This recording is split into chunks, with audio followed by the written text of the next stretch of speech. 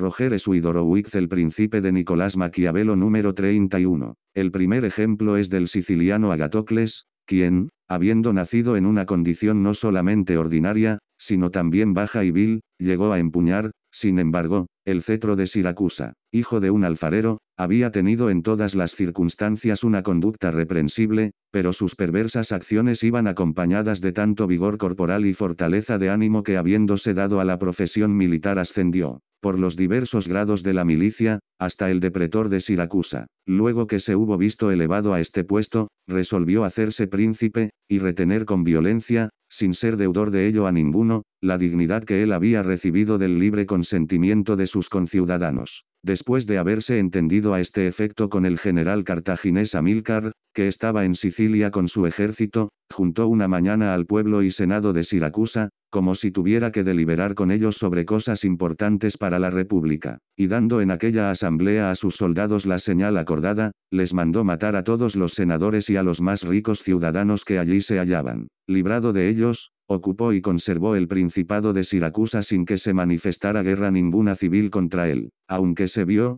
después, dos veces derrotado y aún sitiado por los cartagineses, no solamente pudo defender su ciudad, sino que también, habiendo dejado una parte de sus tropas para custodiarla, fue con otra a atacar la África. De modo que en poco tiempo libró Siracusa sitiada y puso a los cartagineses en tanto apuro que se vieron forzados a tratar con él, se contentaron con la posesión del África y le abandonaron enteramente la Sicilia. Si consideramos sus acciones y valor, no veremos nada o casi nada que pueda atribuirse a la fortuna, no con el favor de ninguno, como lo he dicho más arriba, sino por medio de los grados militares adquiridos a costa de muchas fatigas y peligros, consiguió la soberanía, y si se mantuvo en ella por medio de una infinidad de acciones tan peligrosas como estaban llenas de valor, no puede aprobarse ciertamente lo que él hizo para conseguirla. La matanza de sus conciudadanos, la traición de sus amigos, su absoluta falta de fe, de humanidad y religión, son ciertamente medios con los que uno puede adquirir el imperio, pero no adquiere nunca con ellos ninguna gloria.